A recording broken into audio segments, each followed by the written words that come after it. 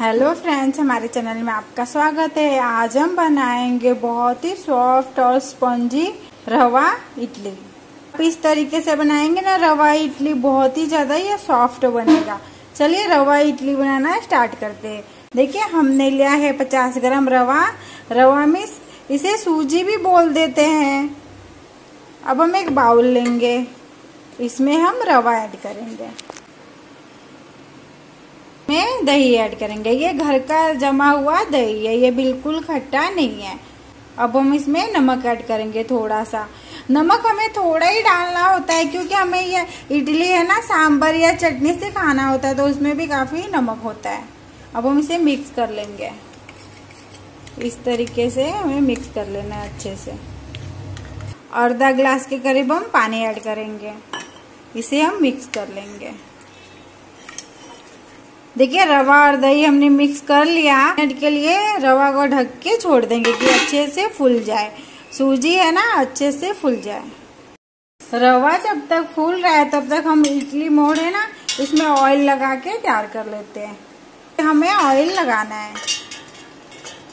कि बैटर है ना इसमें चिपके नहीं देखिए, सब में हमने ऑयल लगा लिया। ऐसा करके इसमें कढ़ाई रखेंगे। हम ना कढ़ाई में इडली बनाएँगे। अगर आपके पास इडली का बस मोल्ड का कुकर ना हो तो आप कढ़ाई में भी बना सकते हैं।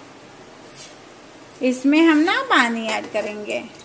पानी हमें बहुत ज़्यादा नहीं भरना होता है, जो अपना स्टैंड है ना, इडली मोड़, ये रुक जाए, इसके ऊपर ही रखना होता है। ये देखिए, इसको डूबना नहीं चाहिए। ये इतना ही होना चाहिए पानी। अब ढक के पानी को गर्म होने देते हैं। देखिए 10 मिनट हो गया ये देखिए, रवा अच्छे से फूल गया है। इसे हम ऐसे पहले फेंट देंगे अच्छे से। हम इसमें एक छोटे चम्मच से एक चम्मच के करीब हम इनो ऐड करेंगे। इनो से ना ये बहुत ये बढ़िया बनेगा फ्लफी बनेगा। आप इनो के बदले बेकिंग पाउडर भी ऐड कर सकते हैं, लेकिन बेकिंग सोडा नहीं। अब अच्छे से हमें एक ही डायरेक्शन में इसे फेंटना है। अगर आप उल्टा डायरेक्शन में फेंटेंगे, फिर इसका रिएक्शन ना खत्म हो जाएगा। फटाफट हमें ऐसे फेंटना है। आप इनो डालेंगे ना, फिर बहुत ही बढ़िया से कलर भी वाइट रहेगा। अगर आप बेकिंग सोडा डालते हैं तो इसका कलर पीला पड़ जाता है, इडली बनने के बाद। जैसे हमने फेंट लिया, अब हम स्पून की मदद से हम बैटर हम डालते जाएँगे। एकदम हमें बहुत ज़्यादा बैटर नहीं भरना है। ठीक है इसमें हमें फटाफट भरते जाना है।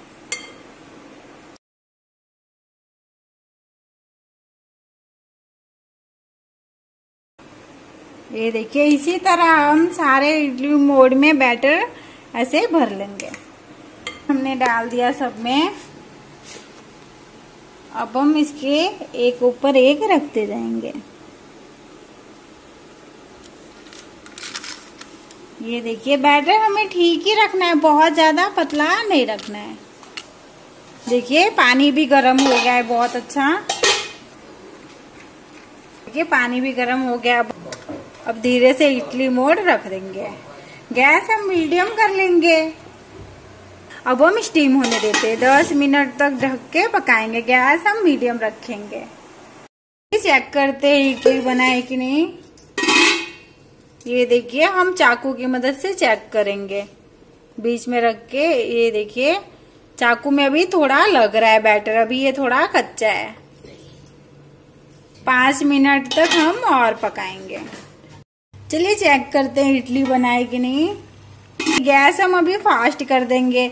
एक मिनट के लिए हम ऐसे ही इसको बिना ढक के ही पकाएँगे कि ये ऊपर का जो थोड़ा पानी होता है ना, वो सूख जाए। करेंगे ये देखिए इस तरीके से।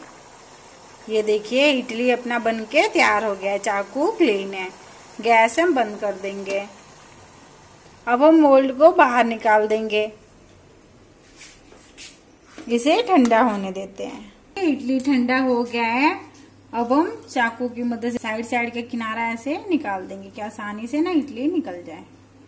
इडली बनाना बहुत ही ज़्यादा आसान है। ये देखिए कितना बढ़िया ये बना है ना इडली।